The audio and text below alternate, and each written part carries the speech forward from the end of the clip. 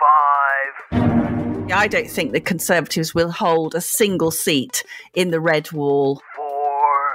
We're kind of engaged in a class war, I think, and one half of that class war is the publicly funded establishment and their fellow travellers. The COVID inquiry has become nothing short of a massively expensive farce. Everything is become a sort of social justice agenda now. One. Liftoff. Welcome once again to Planet Normal, the Telegraph podcast with Allison Pearson Hello? and me, Liam Halligan. The news agenda is busy, busy, busy co pilot. Red Wall MP Lee Anderson, who began his political life as a Labour campaigner, has quit the Tories and now sits in his Ashfield constituency in Nottingham for Nigel Farage's and Richard Tice's Reform Party. A political earthquake or a mild Westminster tremor? Let's see what we think. Meanwhile, Prime Minister Rishi Sunak has acknowledged the UK needs a new generation of gas fired power stations. While this has infuriated some environmental lobbyists, others say it's a responsible move and necessary if Britain is to keep the lights on.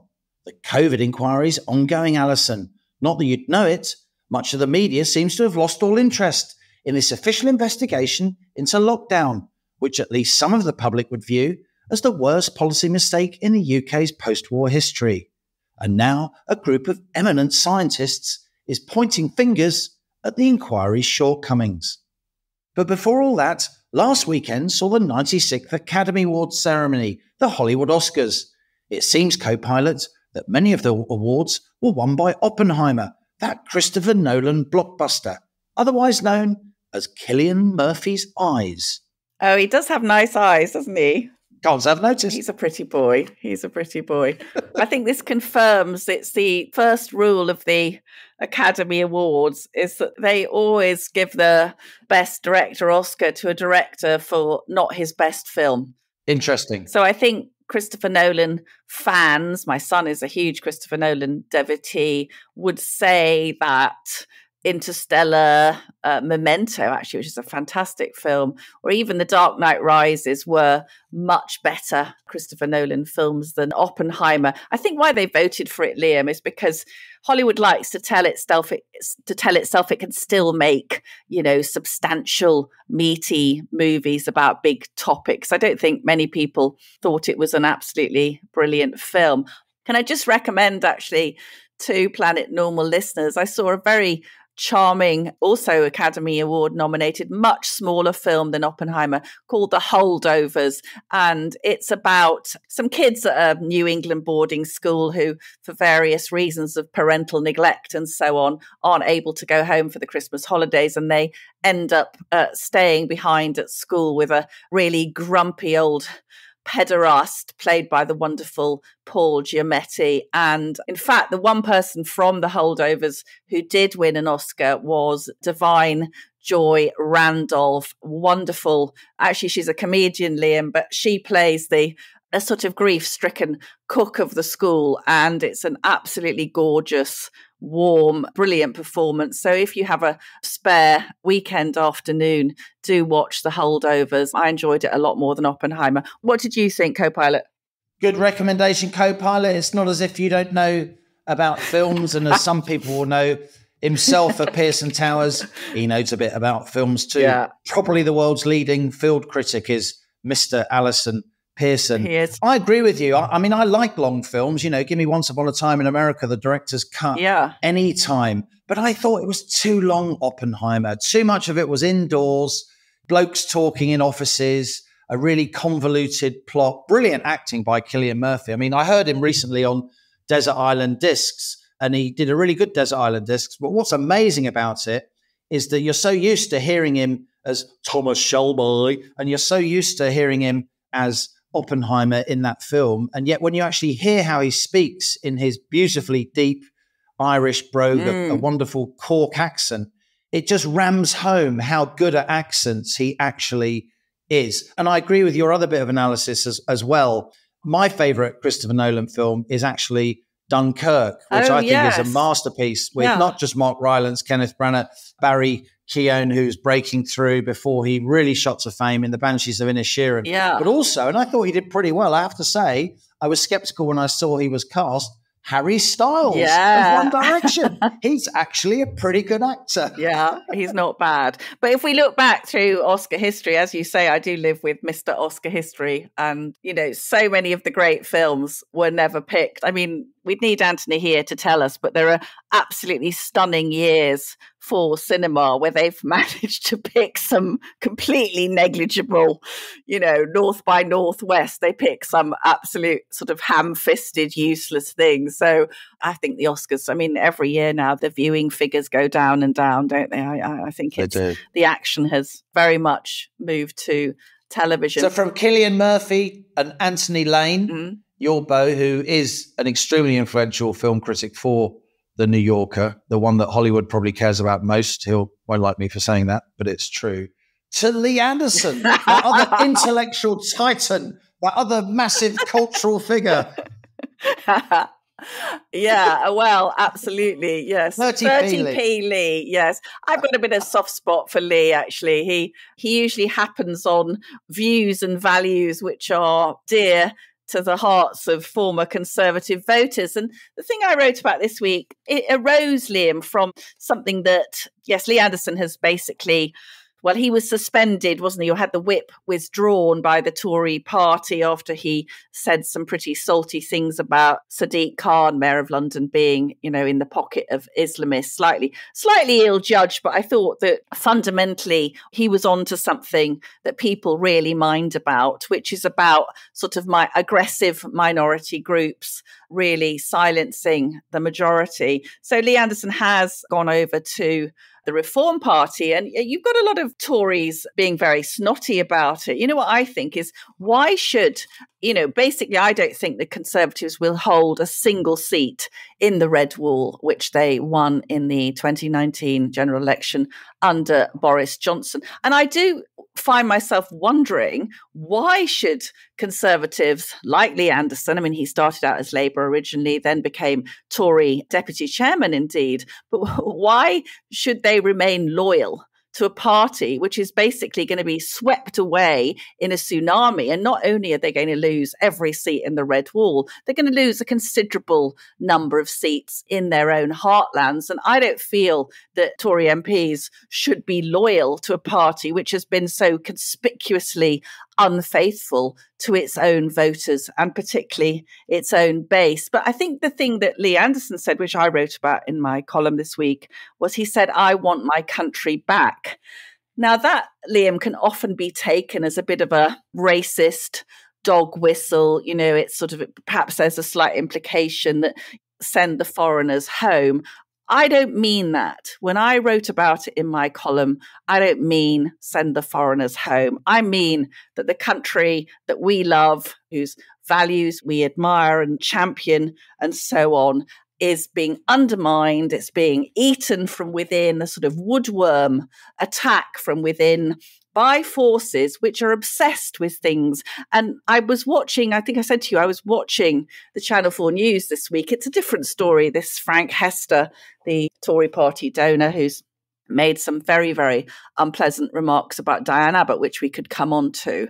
But I was watching this news and I was thinking, I am sick of hearing the words gender, racism, diversity, inclusion, Islamophobia, reparations, on and on and on. We just seem as a country, just everything is become a sort of social justice agenda now. And our country, Liam, has got vast problems. I mean, you know, we, we, talk all the time about energy security. This is quite funny, actually. I've ended up in a WhatsApp group for various major generals. it's just me. It's me and all these big military blokes. You are their Boudica. I am their. Well, I don't know what I am. I'm their, I'm their kind of little dolly running around behind them. But but the point is, is that if you actually talk to people in very serious walks of life about what's going on, what's going on with our military. They can't recruit anyone. You know, we a huge part of our countries, you know, our national security and so on, all of these issues. And everything now is reduced to picking scabs. Should the Tories hand back this donation from Frank Hester? I don't give a stuff. I mind that children in school are being taught critical race theory, which undermines their affection and attachment for their nation. I mind that we are seeing Stonewall infiltrating every single institution, corporation, absolutely astonishing attack on our way of life and on children's safety and so on. So it seems to me that this minority, a very aggressive, politically motivated minority, which hasn't had any success at the ballot box, because people like Lee Anderson would think what they were talking about was nonsense and outrageous. And yet they have come to exercise a real dominance and command over our national life, which I am absolutely sick of. I share your frustration, Allison. I mean, I heard, I or read those words from that Tory donor, and of course, they're completely outrageous. You shouldn't say things like that at all, not even in private, in a business context, which it, which is what it was. But having said that, we have so many issues we need to discuss. We need to talk about energy security. We need to talk about the housing crisis. We need to talk about you know, the massive worklessness that there now is in the UK. Nine million people of working age on benefits. How lockdown has completely transformed aspects of our economy and almost always for the worst. And we should talk about COVID. We should talk about the COVID inquiry because it has been going on for months and months and months now, compared to inquiries held respectively in Sweden, in Italy, which were wrapped up relatively quickly and had, you know, relatively bold primary color conclusions about lockdown. Our inquiry just goes on and on and on as lawyers' bonanza paid for by taxpayers. And it is good now to see, as reported in the Telegraph, scientists coming to the fore and saying, hang on, this is more political punch and Judy rather than a proper investigation at massive public expense into the cardinal question what do we do when there's another pandemic? Yes, I, I think that point you just made, Liam, because I was reading about us being in this basically post lockdown doom loop with the economy. And those figures you just quoted for worklessness now apparently becoming embedded in the economy and not just that absolutely stonking 9.2 million workless people figure, but the scale of economic inactivity among the under 25s, nearly 3 million, are neither employed nor looking for a job. And that is up 248,000 since last year. I mean, by any standards, Liam, this is atrocious. And of course, as you and I have often argued on Planet Normal, much of this flows from the appalling treatment of our young people during COVID when they were at almost no risk from the virus, yet their freedoms were confiscated.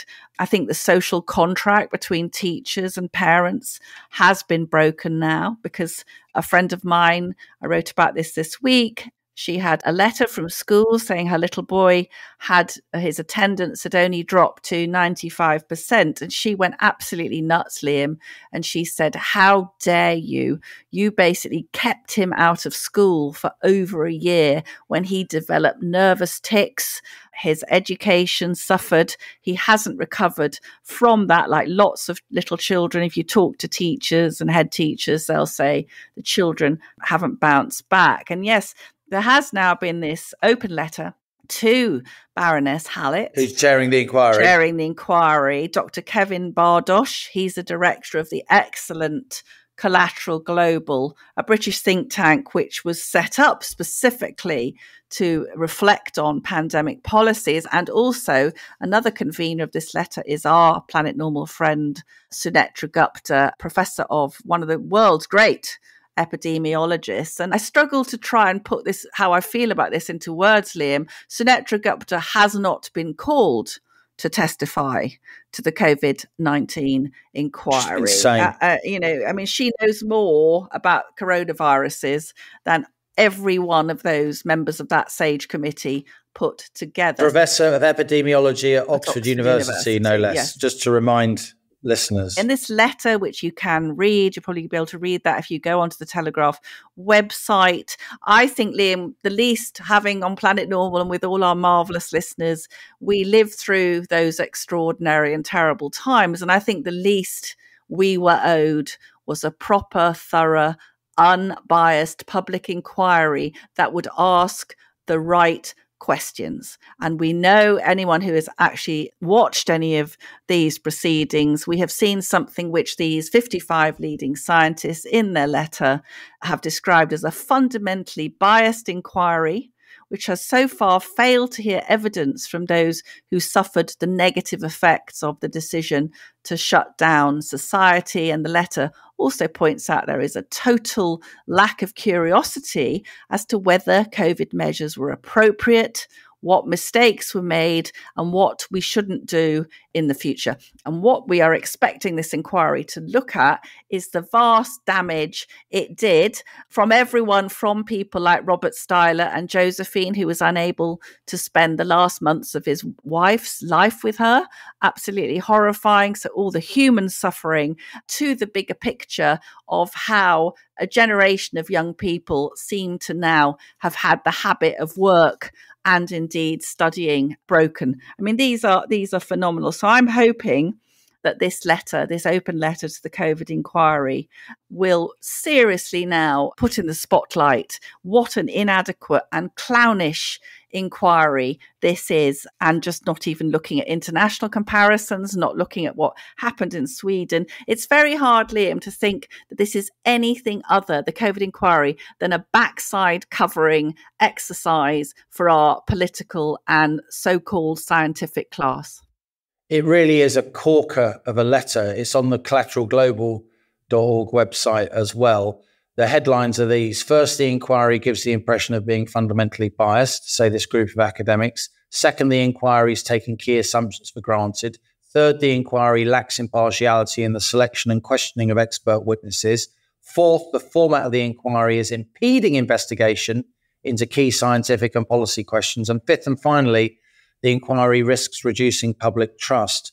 And if you go down the list of names, it's astonishing. It's not just leading scientists in this country, like Professor Sunetra Gupta, as you said, but it's leading practitioners of health, known to Planet Normal listeners, people like Karol Sikora, one of Britain's leading oncologists. It's people who are expert in nursing. It's people who are expert in economics. Professor Paul Ormerod, a superb British economist at University of Manchester. Professor Allyson Pollock, very much from the left of centre, a professor of health studies at Newcastle University. This is not an ideological letter in any way, shape, or form. My old friend, Dr. Edward Skidelsky, who's a, a philosophy professor at the University of Exeter, people from the schools of psychology, sociologists, criminologists, jurisprudes from the University of Oxford, mathematicians from the University of Edinburgh. This cannot be dismissed as some kind of, you know, usual suspects letter. People who were raising their voice during lockdown, as Sunetra Gupta was. This is a very august group of interdisciplinary, across the political spectrum academics. And this must have taken a lot of getting together and as a powerful clarion call. I could say what's taken them so long, but it's a powerful clarion call from some of the UK's leading academics into what is now, as I agree with you, Allison, the COVID inquiry has become nothing short of a massively expensive farce. I'm ashamed of it. You know, the UK is good at this kind of stuff, investigating things, analysis, hopefully transparency. This is the opposite of everything that should be good about the UK. And it's in such an important policy area as well. Examining, as we said on Planet Normal, and I think there's something in this, probably the worst policy mistake since the Second World War. The way we locked down, the extent to which we locked down, and our determination of the political media class, much of it, to ignore the massive collateral damage. And indeed, that's why the organization that's pulled this letter together is called Collateral Global. It's trying very hard to make our political leaders think and our medical establishment think how we respond to the next pandemic. And that is an astonishingly noble cause that's not being served, in my opinion, and the opinion clearly of many of our leading minds in this country by this inquiry. There was a related study this week. I mean, it's unkind to say it made me laugh, but it was a mental state of the year study which revealed that the UK was the second most miserable place in the world. now, somehow, these sneaky bastards in Uzbekistan have beaten us to being the most miserable. I mean, if we can't be the most miserable country in the world, how can we be beaten? Standards are slipping. Standards are slipping. We've been beaten by the lads in Tashkent. What's going on in Tashkent that we're slightly, slightly less miserable? But to make a more pertinent point, I think, from this is why is the UK compared to countries in South America and in Africa, we're coming up as extremely unhappy. And my theory, Liam, is that we are constantly being told now, British people, our history, something to be ashamed of. We're just being bombarded with all this sort of gender nonsense. The views that most decent, normal people hold, and certainly the citizens of Planet Normal hold, are just being rubbish. You know, the stuff about women not being women and so on.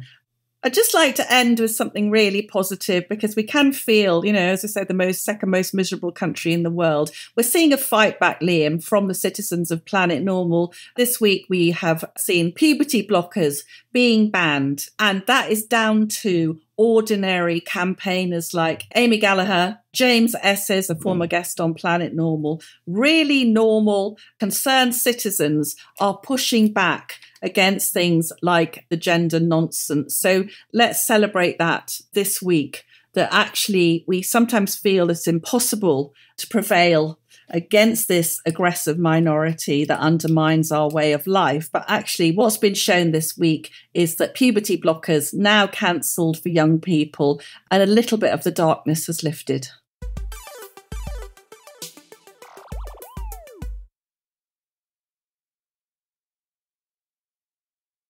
Our guest on the rocket this week is in the business of challenging lazy consensus.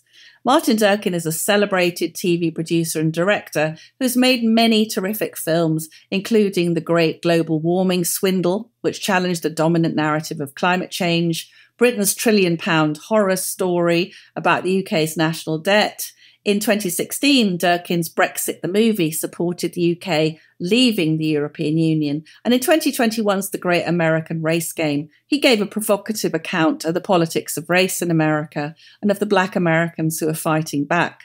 A Geordie by birth, Martin Durkin is a libertarian, formerly connected to the now defunct Revolutionary Communist Party. He has been described as the scourge of the Greens and one of the environmentalists' favourite hate figures. In his terrific new film, Climate the Movie, Martin Durkin returns powerfully to what he regards as the scam of global warming. Why did you feel you had to make it? Well, because everyone's talking such a load of bollocks about climate and have been for so long. It's deeply frustrating if you think that it's all nonsense, the uh, climate thing, because, you know, if you're in polite society and you suggest that, A, you're considered a total demon for even suggesting that it's not true. And B, you always get this comeback of, oh, but, you know, the consensus. All scientists say everyone agrees. And so I wanted to make a film really that looked into the nature of the consensus as well as the science. Can you just tell us a bit about the pressures that you found that people, scientists, are under to support what increasingly uh, looks like something that isn't based on the data. The frustrating thing for scientists, I mean, good, honest scientists in this area, is that you're not really allowed even to point to mainstream scientific data or observations. I mean, you know, published in mainstream journals, carried out by uh, uh, scientists from very respected universities and so on, even cited by the IPCC and all this sort of thing. You're simply not allowed to talk about the stuff that doesn't fit into the climate alarm narrative. And the pressure on them to shut up is extreme. And I think sort of comes from two sources. One is a rather shallow financial one. This involves so much money, the climate industry now, on the academic side and, and, and elsewhere, that you're really deemed to be rocking the boat if you say that you know you don't think this is a problem. There are loads of uh, university departments that rely on money that's got you know uh, the climate tag on it. Uh, there are a lot of individual scientists whose whole careers are built on this and whose funding depends on this. So you're actually threatening the livelihoods of a lot of people if you dare to challenge this. But in a broader way, it's also become you know very much a political thing. You know, if you're a an academic, if you're you know one of the middle class intelligentsia, broadly speaking, in the media, in the public sector in some way, in the third sector, you know that general worldview is pro government, and it's become being pro government has become synonymous with buying into the climate crisis. And so if you say, you know, you think it's not true, then, oh my God, you know, you, you must vote Trump or, uh, you know, you must vote Brexit or you, you're labeled, you know, you must like Nigel Farage. You're suddenly in that sort of demon camp. And so there are these pressures and there's more institutional pressures too. I mean, you're not likely to get funding if you go against the climate alarm because so much funding is connected to this. You're likely not to get published. So it, there's, a, there's, a, kind of a huge deluge of crap sort of comes on your head if you dare to poke your head above the, the parapet here. I mean, we've got scientists in the film, as you know, who, who talk about it, you know, in effect being career suicide if you're a university scientist and you come out strongly against this. Allison and I have both seen preview versions of the film, Martin, of course. Listeners won't have seen the film. It's literally just coming out now. Just tell us briefly the nature of the people who appear in the film and what they say that's so very different from what Planet Normal listeners will have heard on their televisions and radios many, many times over over recent years? Well, we've tried to keep it to very respected and um, highly qualified scientists talking about the, the, the, the science because you know that, that's the usual comeback. Oh, who says this? And so, for example, we've got Professor Stephen Koonin, who was science advisor to President Obama, and he was both provost and vice president of Caltech, which is one of the most respected you know, research institutes in the world.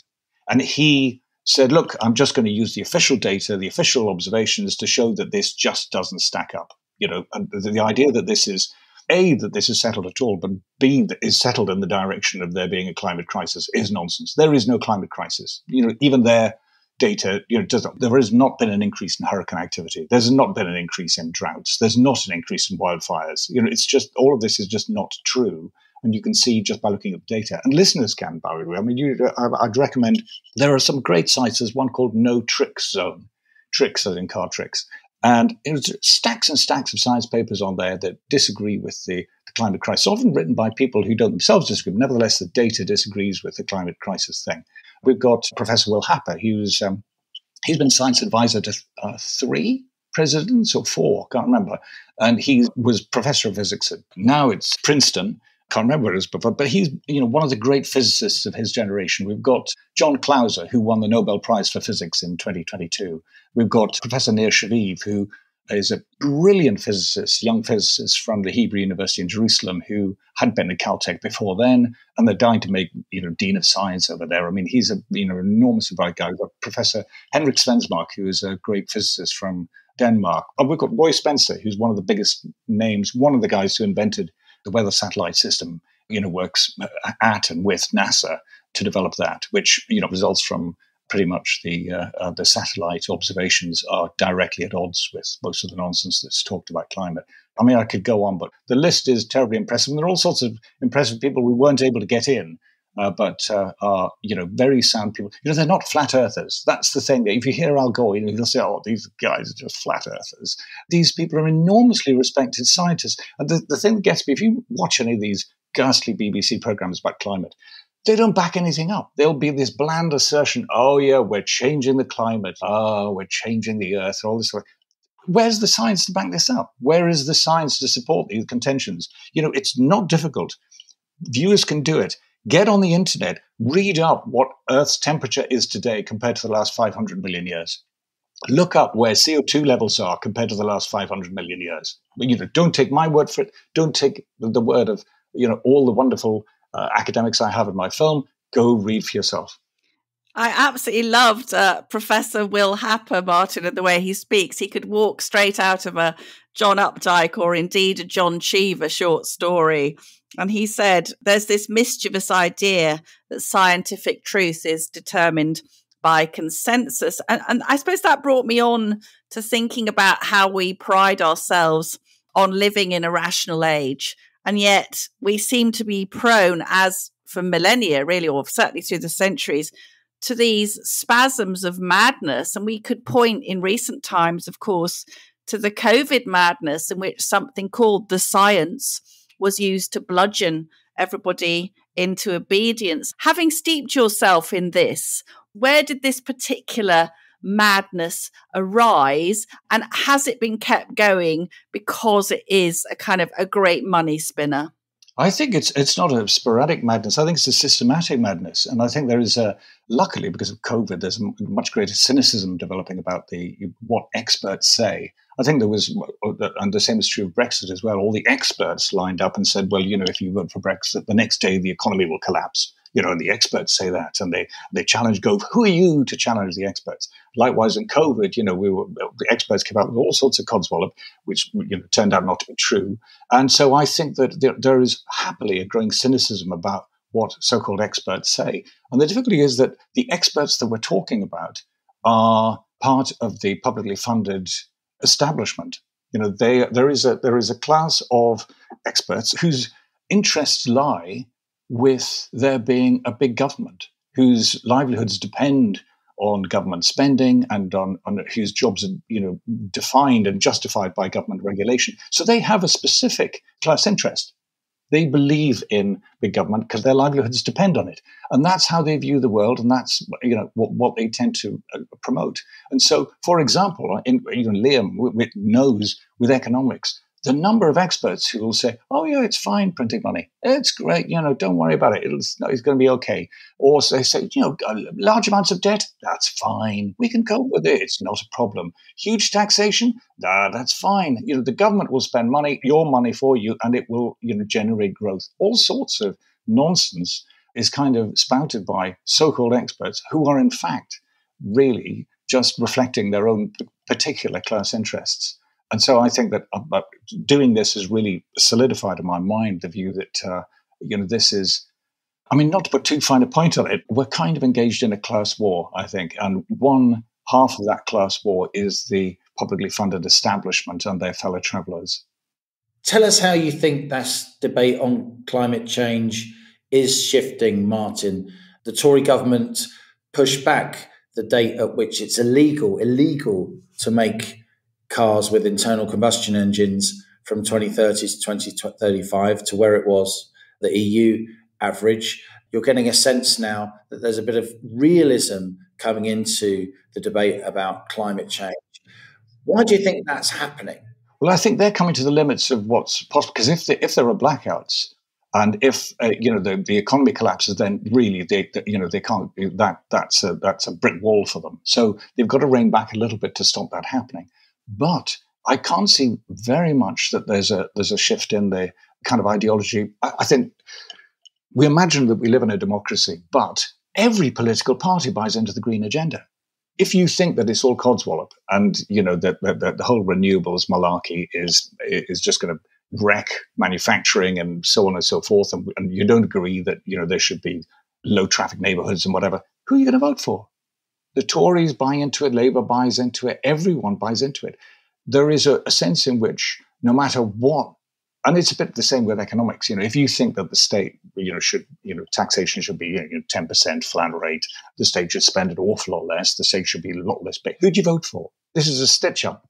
There is no offer on the ballot paper that says we're just going to scrap the green agenda. So although they're reining back a little bit and saying, "Oh, we'll delay, we'll, you know, they still say we're going for net zero. This nonsense phrase, I mean, as if we could survive with, you know, not, not producing any carbon dioxide. I'm not sure there's a shift in the debate there. I think there's a shift in the debate among ordinary people. I think there's a, a much, much greater degree of cynicism there.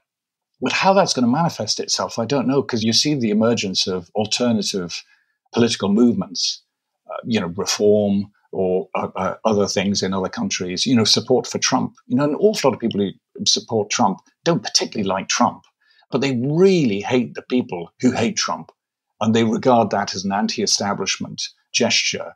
And I think that that's going to start happening in other countries too.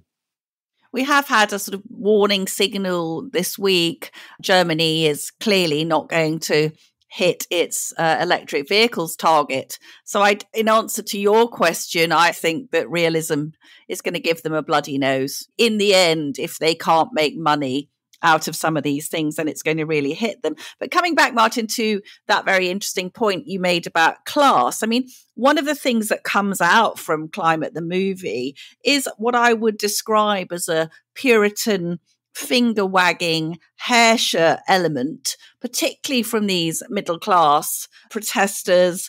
You know, you vulgar people are enjoying yourself a bit much with your cheap foreign holidays and your white vans. Do you think there's an element of snobbery, almost, in fact, misanthropy, which underpins the climate debate? I think there's a really strong element of that. I mean, I've read, because I've done films before on the environmental movement, I've read lots and lots of environmental stuff. And the thing that finally the penny dropped a few years back that you could be both anti capitalist and anti working class. And in fact, that's what we're seeing. Because how come Prince Charles is anti-capitalist? He buys into the green thing. You know, the Archbishop of Canterbury, you know, the IMF, they all buy into this thing. We strangely have an anti-capitalist establishment. Yeah, the establishment loves taxation because it feeds off it. It loves regulation because, you know, that's its that's its little empire. So, oddly enough, this myth that in a capitalist society the establishment must be capitalist and pro capitalist, not true. We have an anti capitalist establishment, and also anti capitalist politics are quite posh. I mean, back in, you know, I, I, I, put on a funny accent now, but actually I come from the Northeast. I was Geordie. And, I, where, you know, when I've had a bit of drink, I started talking Geordie again. But back in the North, you know, the kind of working class side of my extended family were the ones who voted Brexit, the ones that voted UKIP, or the ones that actually are quite pro capitalist. It's the posh element who went to university that are quite left wing. You know, there is green anti capitalism is terribly snobby. You know, if you read their thing, they say the world is consuming too much and they loathe mass production and mass consumption. Oh my God, we're all consuming far. They don't mean they're consuming too much. And the form of consumption they hate or they hate the IKEA, they hate McDonald's, they hate all, you know, Walmart, Walmart. What they don't hate is, you know, the really posh cheese shops in Highbury and uh, uh, posh vintners and the places where they get the Persian rugs from and the place where they get the nice Italian floor tiles and things like that. You know, their consumption is fine. It's the consumption of the, the, the vulgar masses. You know, I think Earth First organized a puking in a shopping mall. How disgusting shopping malls are, you know, ordinary people. There is a huge element of snobbery in green anti capitalism. Capitalism, the problem with capitalism, they think, is that it has actually enriched the masses, not that it's impoverished them. That's the weird thing. Martin, I can't stress enough to Planet Normal listeners what a serious and well regarded filmmaker you are. Even with your often heretical views, your films have been broadcast on Channel 4. You've made extremely well received films on subjects including the history of racial relations in America, a film on Britain's massive national debt. The one critique I've had of your film is that I felt you set up too false a dichotomy here. It's either we go completely net zero 2050 or we go to fossil fuels. I think there's a much more nuanced position here. I want to see us using less fossil fuels. I want to see us use more hydrogen.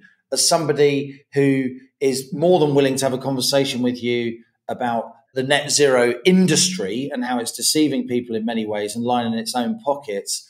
I want to see us going to fuel sources like hydrogen. I want to see us achieving the battery storage technology that allows us to re- use renewables. Do you think there's something in that? I think, in terms of energy, I don't know about energy. I don't know about batteries. I don't know about hydrogen. I don't know about fossil fuels. I'd rather let the market decide. You know, if they, if it's cheaper to do one kind of energy generation, that's fine. If it's cheaper to do batteries and better to do batteries, that's fine as well. It's not that I hate electric cars. It's just that I think that the thing that should determine whether we have electric cars is the normal interplay of industry, the energy industry, manufacturing, and ordinary consumers. And I, you know, when, whenever planners have become involved, it's they're usually motivated by things, you know, that aren't necessarily rational, but by other prejudices. The fact is that, you know, industrial society, which they sort of like to have a whack at, you know, we have the cleanest society in the world. You know, if you want the cleanest air, the cleanest rivers, generally the you go to the most capitalist countries. The dirtiest countries are the socialist countries and the pre-industrial countries or the barely industrial countries. That's where the disgusting pollution is. That's where the short lifespans are. So um, I, I have a great faith in the market and just basic uh, regulation about not doing, you know, polluting rivers and that sort of thing. But otherwise, I'm, I'm happy to let the market decide energy policy. I mean, there shouldn't be energy policy, really. There should be an energy market. Your film will have powerful forces arrayed against it, Martin. Do you foresee attacks on you? And finally, how do you think this spell, the very powerful spell, now be broken? Yeah, I'm sure I'll be attacked. Um, my, my, my Mrs. Kate begged me not to make the film because there'd be you know, goodness knows what repercussions. You know, I made one in 2007, the Great Global Warming Swindle, and, you know, it was like the, the, the roof fell on our head. And uh, half the people who worked on the film are nervous about having their names attached, even though they've been very happy to work on the film. And, uh, you know, sort of, I've got a few changed names in the credits. And we were worried about whether we could get it into a cinema, whether a cinema would accept it.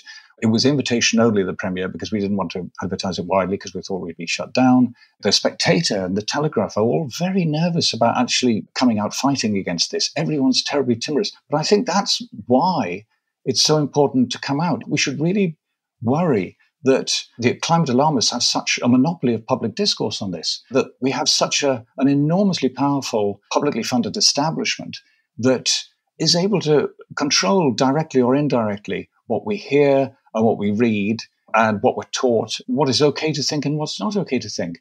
That in itself should worry us enormously. It was 17 years ago since I did the Great Global Warming Swindle, and there hasn't been a single big documentary criticizing the climate alarm since then. That's terrifying that there is such a stitch up on this issue. You know, it is really worrying. I'm expecting to get uh, kicked, but in a sense, the fact that I'm getting kicked made it all the more important to make the film, if you know what I mean. And in terms of what's going to be done, I think the only way this is going to be overturned is by people who are in the working class and the commercial middle class saying, you know, we've had enough of low traffic neighborhoods, of being told, you know, where we're going to put our rubbish and all that sort of thing. There's going to be, a, kind of, there'll have to be a sort of revolution from below because it's certainly not come, going to come from the, you know, effete middle class intelligentsia who, who are really promoting this. Martin Durkin, thanks so much for joining us on Planet Normal. Thanks so much for having me. Well, Allison, Climate the Movie, The Cold Truth. And Martin tells us it will be released on March the 21st, so not long, and it's free online if Planet Normal listeners, if they want to watch it, if they search for Climate the Movie on their laptops or their computers, they'll be able to find it. And as Martin says, watch it for free. It's a really terrific piece of work, I think. And, it, and it's really chiming now, Liam, isn't it, with what we're seeing this week is not exactly a climb down, but just a sort of moderation of the net zero position, which it turns out, surprise, surprise, is increasingly untenable when faced with reality. So we've actually had Sir Jacob Rees-Mogg just calling, in fact, for the net zero 2050 target to be abandoned altogether. And that may be something we hear more about in the run up to the election. But Lee, we had this very interesting announcement from the Energy Secretary Claire Coutinho this week, didn't we, about building more gas fired power stations? It is very interesting. So the UK currently relies on gas fired power stations for about 40% of its electricity, and renewables on some days are up at 40% too. Coal, by the way, has gone from about a third of our electricity as recently as the turn of the century to 1 or 2% now. That's a, an astonishing reduction by the UK. The point I'd make is that the more renewables we have before we've actually found out a way to store renewable energy, the more we need gas fired power stations in order to fill the gaps when the wind doesn't blow and the sun doesn't shine. And that happens quite a lot in the UK, particularly in winter when we need more energy. And this is one reason Martin didn't get into this in his film, but this is one reason why electricity is so expensive in the UK because we need all these gas fired power stations on standby, waiting for when renewables can't deliver on a certain day. No. And so the cost of having those gas fired power stations just standing there, manned, maintained, ready to be literally fired up, that is spread across all of our energy complex, which is why electricity in the UK is so much more expensive than the EU average, both for commercial and domestic users. I agree with you. I've made plenty of documentaries myself, and it is always a huge effort to get a really high fiber, research heavy documentary made. And Martin's done it in a way, it's explained beautifully, it's very cleverly scripted. My concern with it, or my one quibble with it, isn't the evidence he provides at the top, which is unanswerably interesting and absolutely should be watched by everybody. The caliber of the people he gets on his film, as we said during the interview. My quibble, as I as I outlined to him, and we didn't have too long to talk about it, is that he says he seems to present the only alternative to you know the big net zero 2050 green agenda is to go back to using lots more oil and gas and maybe coal. I don't agree with that. In the medium term, I think we can use more renewables, and that would be a better way to go. The danger comes from trying to do it so quickly and all the virtue signaling and class war that's associated with it. It is technology that will solve the problem of us polluting the atmosphere in order to heat our homes and drive our cars. I personally think hydrogen is going to be a very, very important fuel in that regard. And I also think nuclear is going to play a very important role in that regard, as indeed Martin and I and you discussed.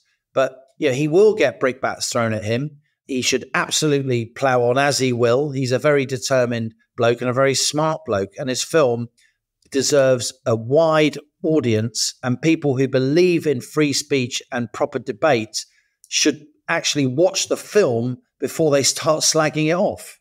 It's deeply shocking, Liam, um, because what he's talking about is some of the most eminent physicists in the world. I mean, literally the winner of the Nobel Prize for Physics Yeah. 2020, talking about not just a conspiracy of silence, but actual bullying of academics. No academic who's starting out their career or trying to climb up the ladder can possibly address the fact that the data doesn't support that there's a climate crisis. I mean, it's just a completely mad emperor's new clothes. And I think it's just profoundly disturbing that this is throughout the developed world.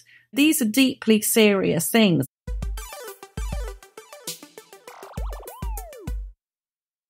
Now on to our listener emails. Your messages sent to planetnormal at telegraph.co.uk. Please keep them coming. We've had a lot of feedback, Liam, to my piece about the invasion of woke into every area of public life, even private life, and a few comments, but this one uh, struck me from someone who describes themselves as slippery. After 20 years in senior roles in some of the biggest global companies with consistently excellent performance, I now await a decision on my fate for quotes, refusing to meaningfully engage with core diversity training and the wider values of the company. What was my crime?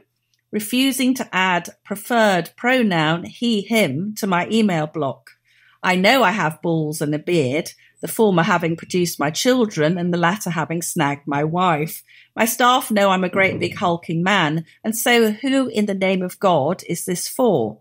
I'm not bloody doing it, says Slippery, and if a tribunal or early retirement is the result, then so be it. As an exercise in the current battle, I added up all the diversity, inclusiveness, allyship, unconscious bias, and days training which was compulsory over the last five years, and in a team of 20, over four months of work time has been lost. Yes, four months. You're right, Allison. We are in the grip of a zombie mind fungus, and only a very strong pesticide will stop it. And Jane adds, the NHS is exactly the same. I retired soon enough to avoid the worst of it, but a nurse friend who's still there told me she was actually threatened with dismissal if she did not attend a loony session. She went, but was told to leave halfway through for laughing out loud and contradicting the woke fool giving the misinformation. This is absolutely everywhere, Liam, a zombie mind fungus. This is from Christopher. Allison Liam, I've just received an email from Octopus, my electricity supplier, telling me some good news that from the 1st of April, the amount I'm paying for my electricity will be reducing. Woohoo! They also then go on to tell me that the amount of the standing daily charge will be increasing from just over 55p a day to 69p per day. Now, I'm not a maths genius, but I worked out that's just over 25%. My understanding is that the standing daily charge is to cover the cost of delivering the electricity to my home. If that's the case, how can they possibly justify it? An increase in their overheads by 25%, an extra £51 per year per household for doing the same job and for no extra value. I'm sure other utility providers will be doing the same. What on earth is going on? Thanks to you both for taking the time to read this, and of course, for all the great work you do. As I felt compelled to abandon the Today programme after decades of listening just a few years ago, that's, of course, BBC Radio 4's flagship news show in the morning, just as Planet Normal was taking off, would you and Liam ever consider doing some kind of streamed breakfast news in the morning? Kind regards, Christopher. What do you think, co pilot? Could you get out of bed in time? I could broadcast from Yeah. bed. We could start at 6 a.m. We could have Dee Dee the cat doing some of the adverts, couldn't we? this is from Robert, reflecting a very widespread view. Our country is not recognisable anymore, says Robert. Neither is the Conservative Party. I'm a former Conservative Party member and activist. I joined the Young Conservatives in 1982 when I was 17. Back then, the Conservative Party was the Conservative Party. Now it's no better than the Social Democratic Party. I want a proper Conservative Party to vote for. As it currently stands, Conservative Party led by Sunak is not fit for purpose. Failure to tackle immigration, both legal and illegal, failing the pensioners in last week's budget, and forgetting who their core voter base is. The red wall is already lost, and the grey wall is heading in the same direction. The only party worth voting for is reform. I should just add, Liam, that we've just had the worst ever polling for the Conservatives. And I think that even the sleepiest Tory MP is waking up to the fact that Armageddon is nigh. So it'll be interesting to see in the next couple of weeks if reform manages to close the gap with the Conservative Party. Because if we get to a, a point where reform is 15% and the Tory party is 18, then all bets are off, aren't they? So the Tories are currently on 348 seats. They started the parliament with 365 by elections and, and, and so on. What do you think, co pilot? 150, 120, 100? You know me, my total's Yeah. going down and down. Is it still triple digit?